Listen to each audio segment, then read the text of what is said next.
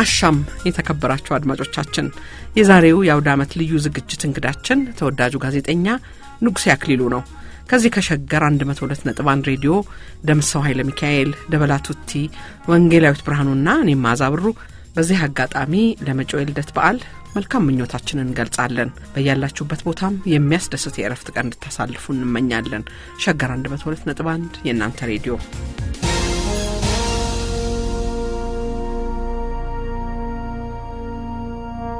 ጤና ይስጥልኝ ንጉሴ፣ እንዴት ሰነበትክ? ደህና ሰነበትክ ወይ?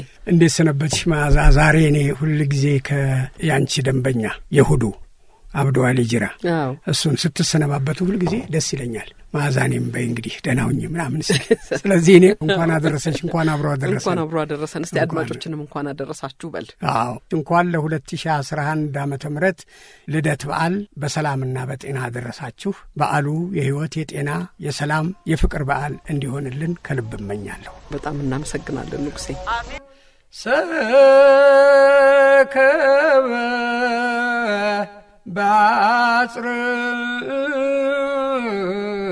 ባጽርቅት ተጠብለለ። ወደ አማርኛ ላዙረው በዚሁ? አዙራ ውስጥ እሺ። በበረተኛ በጨርቅ ጠቀለለ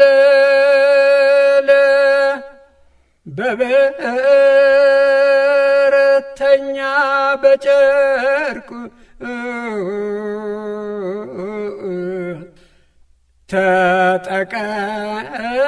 ተጠቀለለ የዓለም መድኃኒት። ዛሬ ተወለደ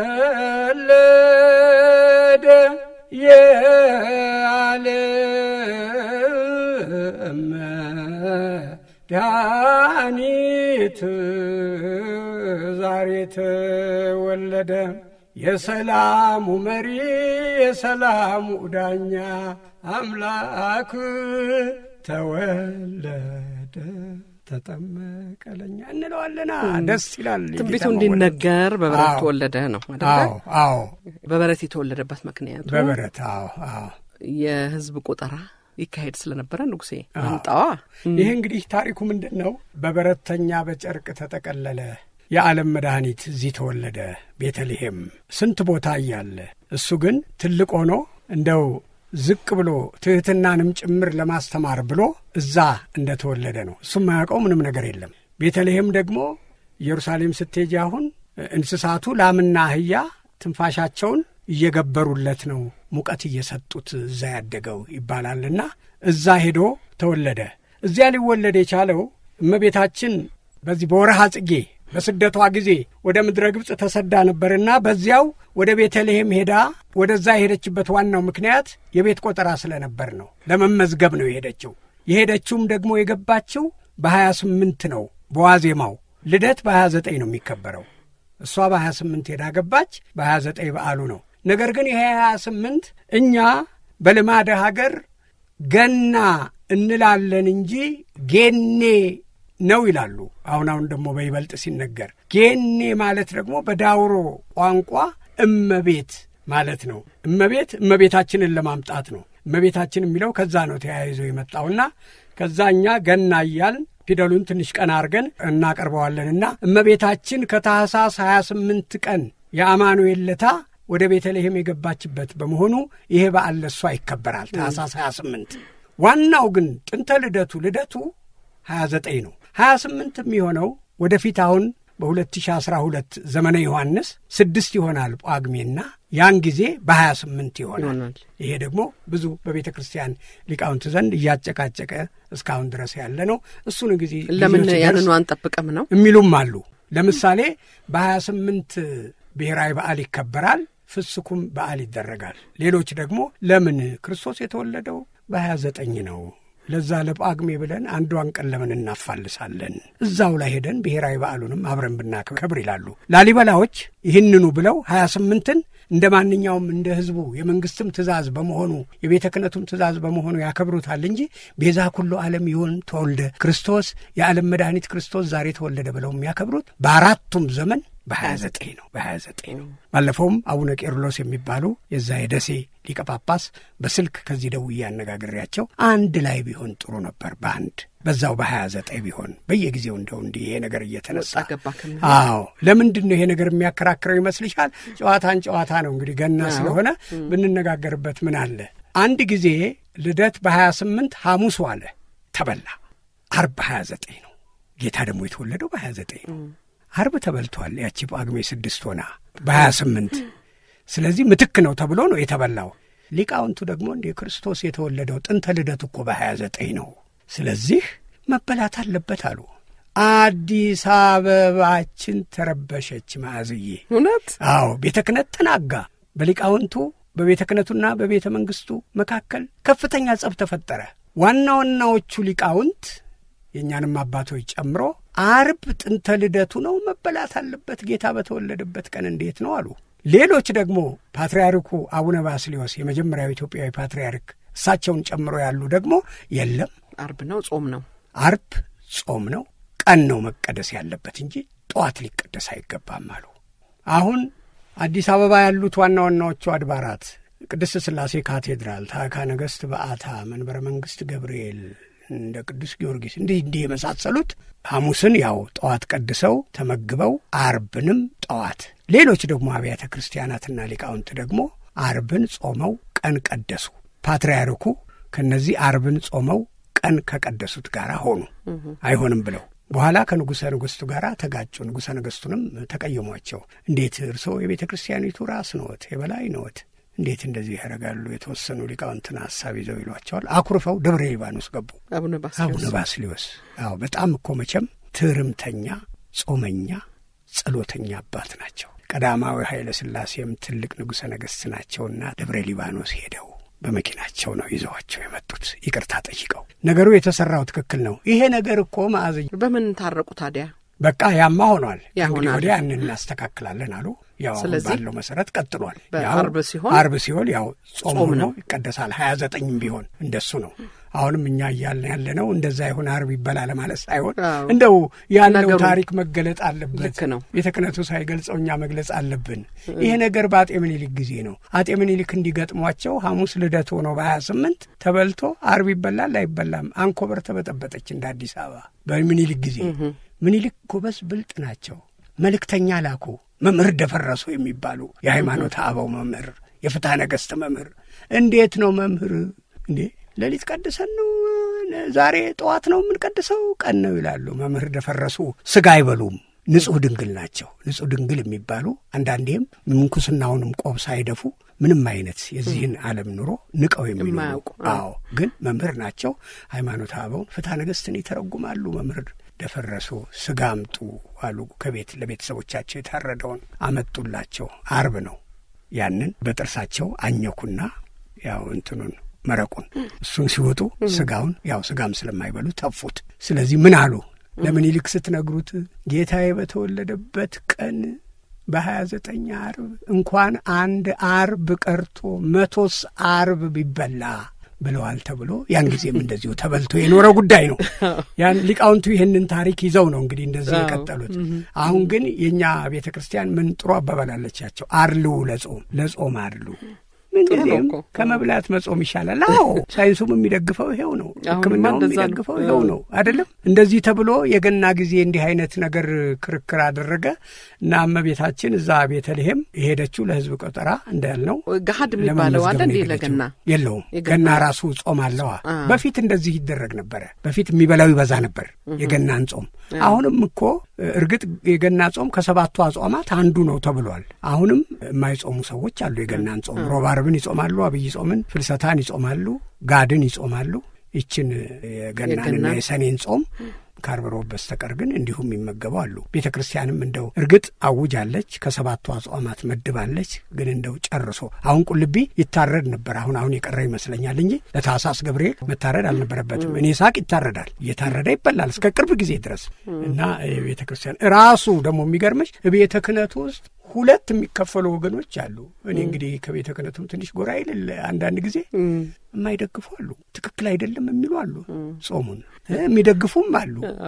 ሁለቱንም እንግዲህ አዎ አመዛዝኖ አመዛዝኖ አድሉ ለጾም የሚለው ያስታርቀናል፣ ያስታርቃል። የዘመኑም ይህም ያለውም ሁኔታ ያስታርቀናል። በዛ አይነት መንገድ መሄድ ይቻላል። በዚህ በታሪኩ ሲወሳ እንግዲህ እመቤታችን እዛ ያው ክርስቶስን ወለደች፣ ቤዛ ኩሉ ዓለም የዓለም መድኃኒት ክርስቶስ ተወለደ ተባለ። በእልልታ በጭብጨባ ደስታ ተገለጸ። መጀመሪያ ይህን የማየት ዕድል የገጠማቸው መላእክትና እረኞች ናቸው የክርስቶስን መወለድ እና እንዲህ ነው እና እጅ መንሻ አሁን የእጅ መንሻ ታሪክም አለ። የሰባ ሰገሎቹ የሰባ ሰገል አዎ፣ ከነዚህ ከሄዱ ከሚባሉት ነገስታት አንዱ ኢትዮጵያዊ ነው የሚል ነው። ሀበሻ የሀበሻ ንጉሥ ባዜንና መለህ የሚባሉ ነገስታት ነበሩ በዚያ ጊዜ። ከሁለቱ አንዱ ሄደዋል ይባላል። ብዙ ጊዜ ግን ባዜንን ነው የሚሉት።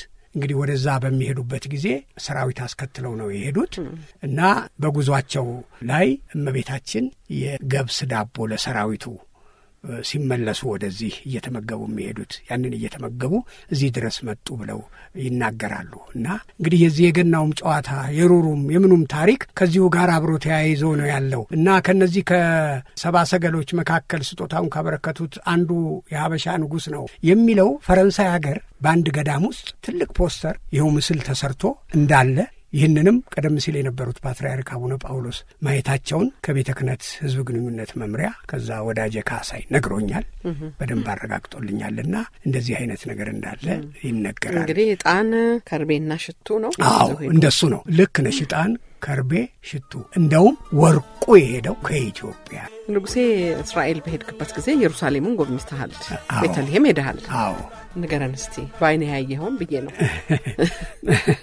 እኛ እስከምናየው ልክ ነው ነገሩ። የሄድኩት ለምንኩስና አይደለም። ያው እንግዲህ ያውቀሻል አንቺም። አዎ እዛ ቤተልሔም አንድ ሰባ ያህል ስልሳ ዘጠኝ ኢትዮጵያውያን ነበርን እዛ ሄድ ነው የጋበዘኝ እዛ ሀገር ከአርባ ዓመት በላይ የኖረ አሁንም እዛ የሚኖር አማይከለ ገበየሁ የሚባል ወዳጄ ነው። ባለቤቱ መቅደስ ይመር ይባላሉ። ከዚህ ከበዓታ ከኛ ሄደው ነው የአውሮፕላን ትኬት የሆቴል ወጪን ሁሉ ችለው እባክን አሉኝ። እነሱ ከተለያየን ሀያ አምስት ዓመታችን ነው። አያውቁም ስለ ንጉሴ። እሁድ ፕሮግራም ይስራ፣ ሬዲዮ ውስጥ ጋዜጠኛ ይሁን እንደ ወሬ ተባራሪ ይሰማሉ እንጂ በቃ እንትን የሚነግራቸውም የለም። ስለ እኔም አይከታተሉ። እኔም ያው ራቅ ስላሉ መኖራቸውን እሰማለሁ እንጂ እና ሄድን እዛ። ከዛ ቤተልሔም ሄድን። ቤተልሔም እንግዲህ ከኢየሩሳሌም ትንሽ ራቅ ይላል እና በፍልስጤሞቹ ቁጥጥር ስር ነው ያለው ቤተልሔም። ቤተልሔም ስንሄድ ብዙ ቱሪስቶች አሉ። አውቶቡሳችንን አቁመን ከዛ ገባን። ረጅም ደረጃ አለ። ያንን ደረጃ ወርደን ገባን። ስንገባ ላሞቹንና የአህዮቹን እዛ ያው ምስል ነው ግን እውነት አድርገው እንዴት አድርገው እንደሰሩት ይገርምሻል። የሚጠጡት ውሃ እዛ አጠገባቸው ተደርጎ ቀጤማው ምናምኑ እንዱ ያለው ነገር በጣም ደስ ይላል። በዓል በዓል ልደት ልደት ይሸጣል። ወቅቱም ወደዛው ይመስለኛልና የሚያስተምሩን ሰው ሲያስተምሩ ሲነግሩን ቆዩና እኔ እንደው ድንገት ሳላስበው ከቁጥጥሬ ውጭ ሆንኩና እነዚህ እጅ መንሻ የወሰዱትን የሚገልጽ ዳዊት መዝሙር ውስጥ ያለ ነገሥተ ተርሴ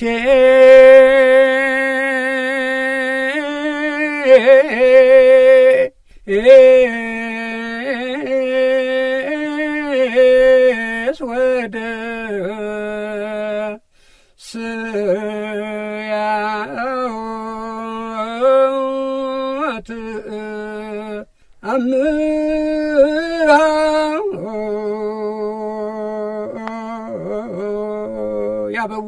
በሙሉ ደነገጡ። እነዛ ስልሳ ዘጠኝ ኢትዮጵያውያን ወደ ውስጥ ለመግባት በመጠባበቅ ላይ ያለ ደረጃው ላይ ተሰልፎ የነበረ ፈረንጅ ሁሉ ምን ተፈጠረው ብለው ምንድን ነው የሚለው ብለው ተደናገጡ።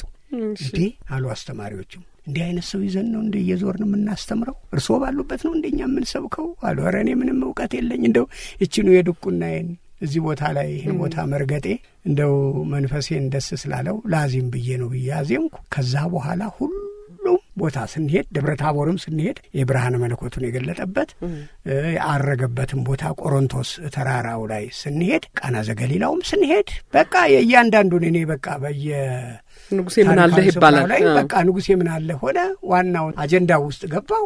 በእንደዚህ አይነት ሁኔታ ቤተልሔም ደርሼ መምጣቴ ይገርመኛል። እዛው ውስጥ የኢየሱስ ቤተ ክርስቲያን አለ የኢትዮጵያውያን። ይሄ በፍልስጤማውያኖቹ ስር ያለ ነው ብዬሻለሁ።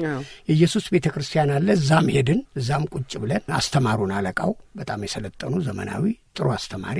ከዛ ልክ ትምህርታቸውን ሲጨርሱ እኔ ኋላ ነው መጨረሻ ላይ የተቀመጥኩና መልካም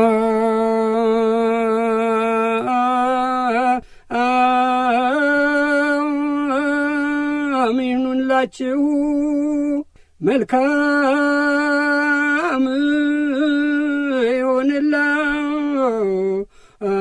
ይሆንላችሁ፣ መልካም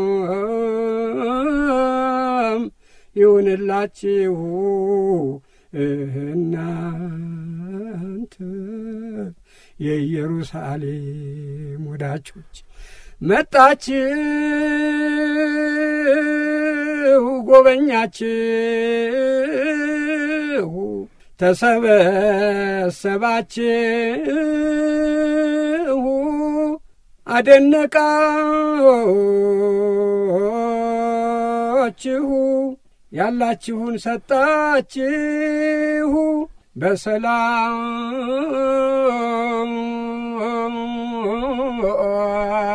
ወደ የቤታችሁ ያግባችሁ አምላከ ኢትዮጵያ ይጠብቃችሁ ስል እንደው ሰውየው በቃ ቄስ ነው፣ ካህን ነው፣ ሕግ አለው፣ ሕግ አለው፣ ሕግ አለው አለው። ምን ማለት ነው? አልልሽም ማዘ እንደው ይሄን ድምፅ ይዞ ይሄን ቅላጼ ይዞ ሕጋዊ ሰው ነው ወይ? አህዶ ብሎ የሚቀድስ ሰው ነው ወይ?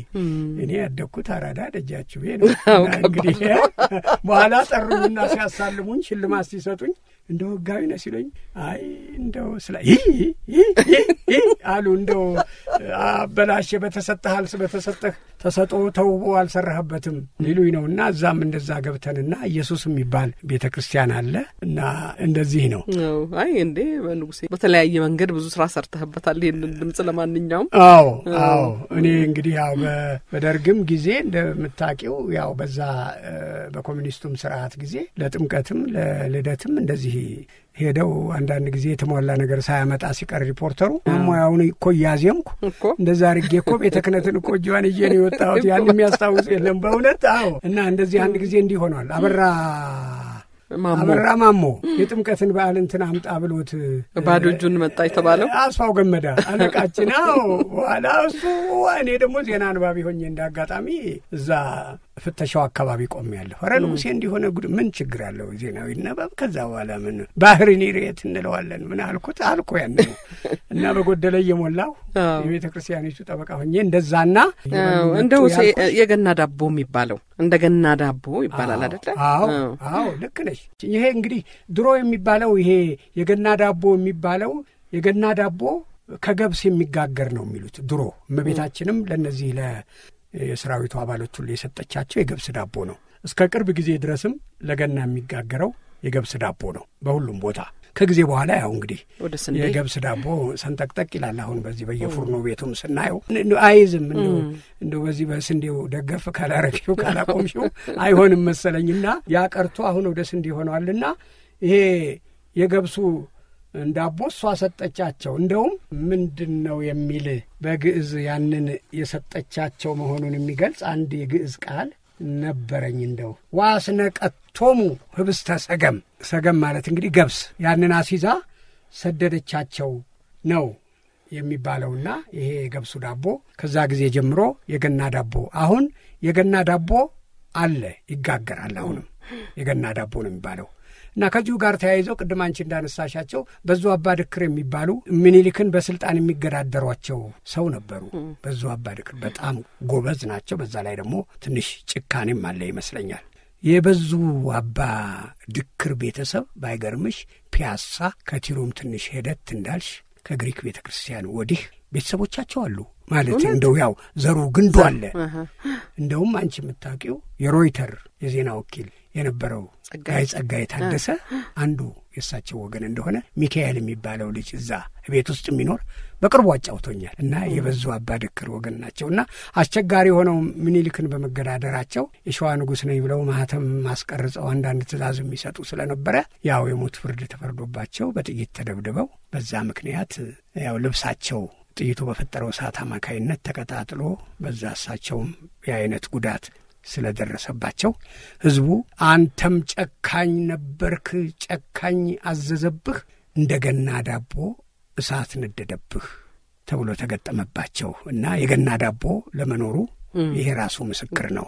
ምናልባት አንቺ የምትይኝ ቃል እኔ ደግሞ አቶ ተሾመ ገብረ ማርያም ስለ የሕግ የበላይነት አንድ ጊዜ ጠይቄያቸው ምን አሉኝ? የእኛ አገር ሰው ማንኛውም ተራውም ሰው ቢሆን ስለ ፍትህ ያለው አስተሳሰብ በጣም የረቀቀ ነው በሚል ነው ይህን ያነሱት።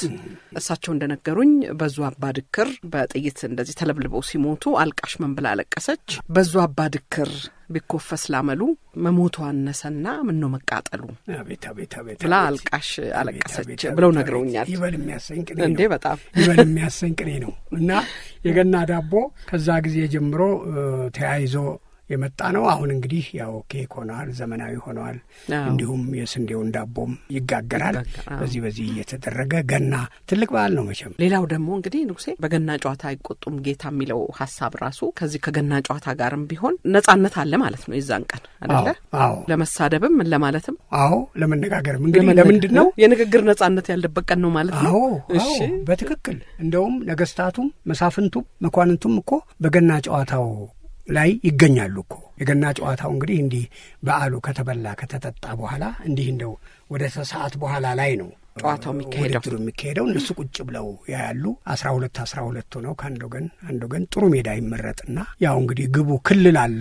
ዝም ብሎ ከዚህ ወዲያ ኳሷ ካለፈች ግብ ይቆጠራል ተብሎ በዚህ አይነት ነው የሚካሄደውና መሰዳደብ እንዳለ በደንብ ነው የሚተረከው። ይሄ የገና ጨዋታም ታሪክ አለው። ቅድም ካልነሽ ወደ ቤተልሔም ከሄዱት አንዱ የአበሻ ንጉሥ ነው። እሱን ተከትለው ከሄዱት መካከል በሚጓዙበት ጊዜ በኮከብ እየተመሩ ነው የሄዱትና ኮከቡ አልሄድ አልንቀሳቀስ አላቸው ነው የሚባለው። በዛ ጊዜ ደግሞ እምነት አለ። እንዴት እንዲህ አይነት ነገር ይገጥመናል ነው በቃ በጣም ተናደው ተቆጭተው በኋላ ያው ተመልሶ ኮከቡም ራሱ ተንቀሳቅሶ በዛው መሪነት ሄደዋል። ግን እዛ ሰራዊቱ አለበት መሃል ሲፈትሹ አንድ ሰላይ ተገኘ ነው የሚባለው። ያ ሰላይ አንገቱ ተሰዋ። የዛ የሰላይ አንገት ነው ሩር ሆና መጫወቻ የሆነችውም እያሉ ይተርካሉ። እንግዲህ እንደዚህ ነው። ይሄ እንግዲህ ወጉን መቼም እንግዲህ መስማት ነው ሲባል የቆየውን ነገር ታሪኩን እንደዚህ እያለ እዚህ እኛ ላይ ደርሷል። የገና ጨዋታ አሁን ይሄን ያህል ብዙም አይነሳም። ይሄን ያህል እና ምን ይባላል መሰለሽ በግጥሙ መሰዳደብ፣ ቅድም ያልሽው ዲሞክራሲ በድሮ ጊዜማ ለመኖሩ ብዙ ማሳያዎችን ማቅረብ እንችላለን እኮ አሁን እንደው ጊዜው አይደለም እንጂ እየው አካሄዱን አረማመዱን እስቲ ማዝያ ንብ አካሄዱን አረማመዱን እንደ ቃሪያ ሎሚ ወጥሮ እም ትናንትና ማታ የበላው ሽልጦ አላስሮጠው አለ። ከጎኑ ተሽጦ ከጎኑ ተሽጦ ይኸውልሽ እንዲህ ነው። እንግዲህ መሳፍንቱም መኳንንቱም ይጫወታሉና በገና ጨዋታ አይቆጡም ጌታ። የተባለበት ዋናው ምክንያት እንግዲህ ይሄ ነው። ቢመቱም ቢሰደቡም በገና ጨዋታ አይቆጡም ጌታ፣ መቆጣት የለባቸውም ጌታ እያለ በዛ እያባበለ ሲያሰኘውም እንደ ከጀርባ እየለጥም እያረገ በዚያች በሩሯም እየመታ በዚህ በዚህ አይነት በዓሉ ይከበር እንደነበረ ነው እንግዲህ ሲገለጽ የቆየው።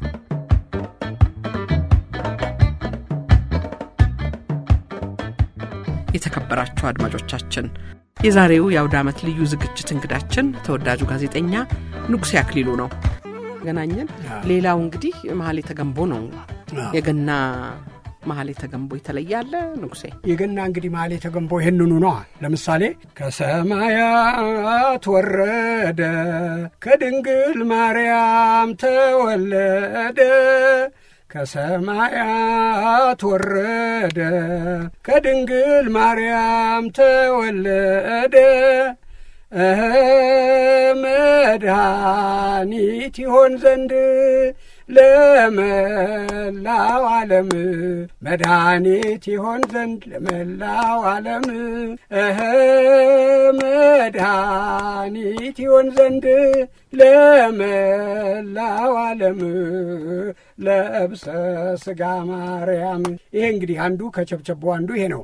አማን በአማን አማን በአማን እሰይ ደስ ይበለን ክርስቶስ ተወለደ ከሰማየ ሰማያት ወርዶ ከድንግል ማርያም ተወልዶ ቀደም ሲል በተነገረው ትንቢት መሰረት እና ለሰው ልጅ ድህነት ሲል የሀገር ርቀት ፍቅርን አያግዳትም እንዲል ጌታ ለእኛ ሲል መሥዋዕት እንደከፈለ ለአዳም ሲል አዳምን ነፃ ለማውጣት ከአምስት ሺህ አምስት መቶ ዘመን በኋላ ነፃ አወጣሃለሁ ብሎ አዳምን በተናገረው ቃል በገባለት መሰረት ከዛ በኋላ ቅድም እንዳልነው በቤተልሔም ተወልዶ አዳምን ነፃ ማውጣቱን የምናከብርበት ትልቅ የትንቢት በዓል ነው። ገብርኤልም የተናገረው እመቤታችን ትወልዳለች ብለው ይህንኑ ትንቢት ነው።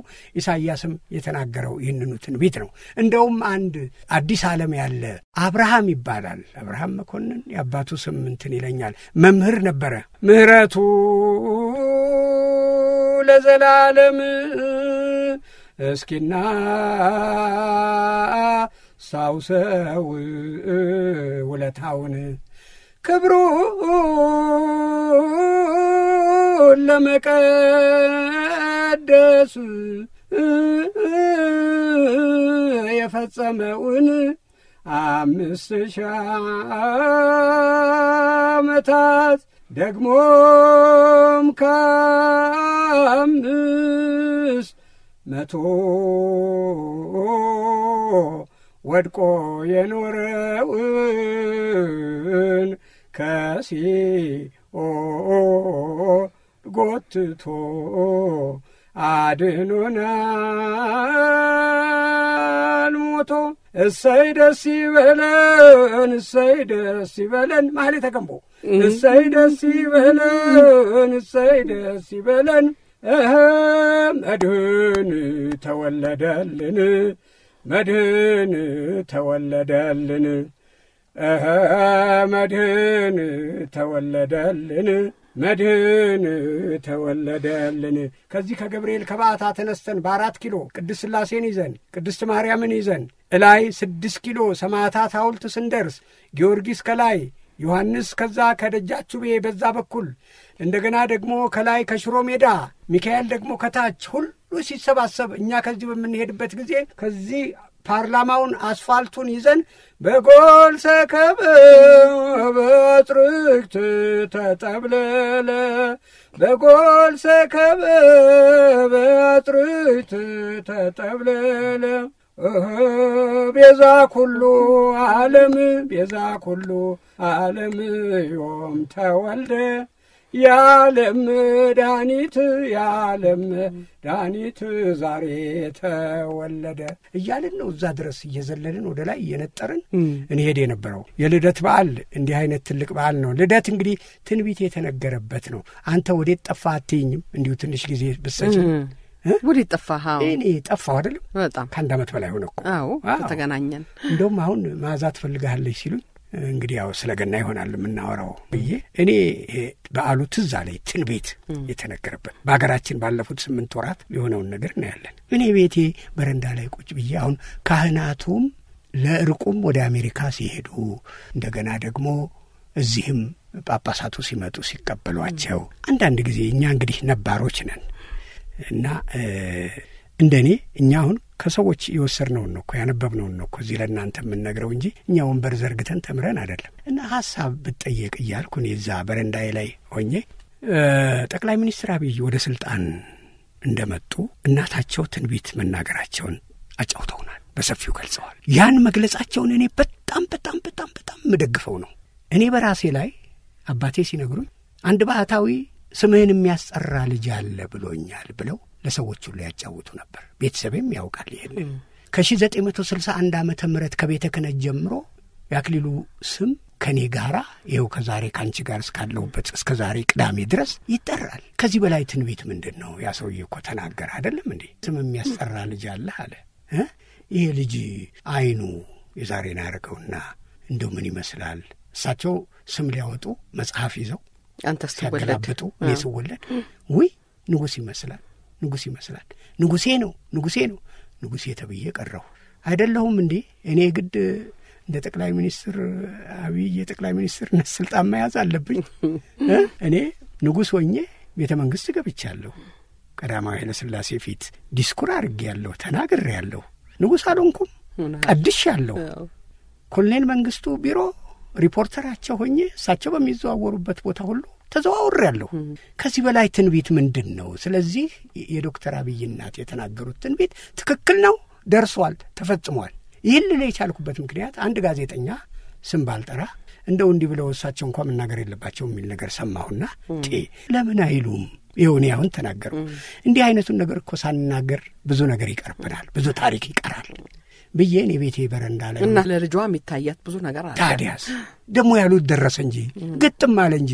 እሳቸው ደግሞ እንግዲህ የነገሯቸው ሰዎች የሚታመኑ እነዛ ትላልቅ ጀነራሎች ለከሌም ለከሌም እንዲህ ያልኩ እንዲህ ያልኩ ያሉት ነገር በትክክል ነው። አሁን እሳቸው የነገሩን ታሪክ የዛሬ መቶ ሁለት መቶ ዓመት ይሄ በሚሰማበት ጊዜ ምን ስሜት በዚያ በሚመጣው ትውልድ ላይ እንደሚፈጥር ይታይሽ። ይሄ ትንቢት ተቀብሮ መቅረት አለበት እንዴ?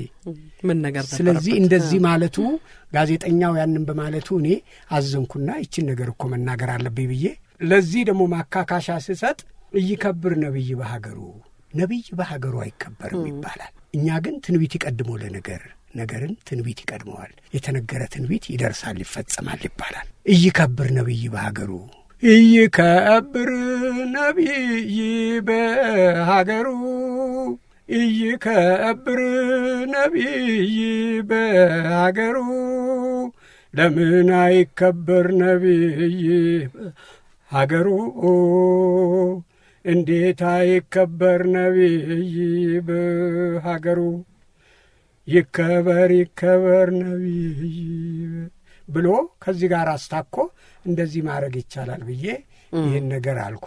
የራሴ የግሌ አስተያየቴ ነው ማለት ነው። አይገርምህም ንጉሴ? እንግዲህ እኔ እናንተ እዚህ በተገናኘን ጊዜ አንስተነዋል ይመስለኛል የኢትዮጵያ ኦርቶዶክስ አዎ ቤተ ክርስቲያን አዎ ለሁለት መከፈሉ ጥሩ እንዳልሆነ አንስተነዋል አንስተናል። አሁን ዛሬ ግን እንግዲህ ሰላም ወርዶ አዎ አዎ ዛሬ ሰላም ወርዶ በጣም በጣም ደስ ይላል።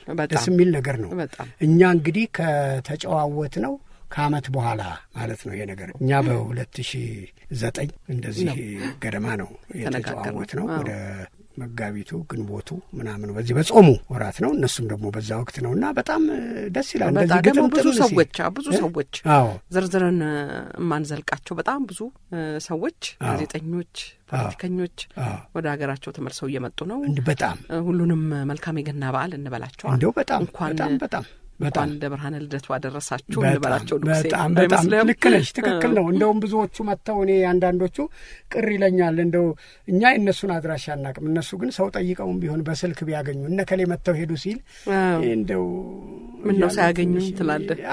እውነት ነው።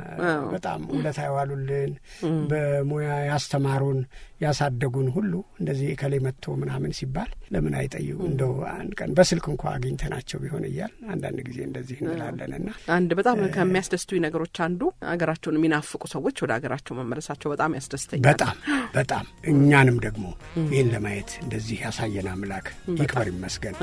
ይሄ እኮ በማንኛውም ነገር ሊፈጸምና መፈጸም የነበረበት ነውና በጣም በጣም ደስ ሊለን ይገባል።